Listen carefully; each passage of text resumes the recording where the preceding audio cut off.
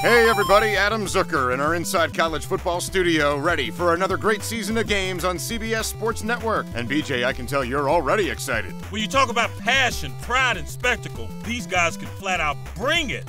The wishbone, the wacky formations. This is what college football's all about, my friend. And don't forget about the D now. These guys eat quarterbacks for lunch.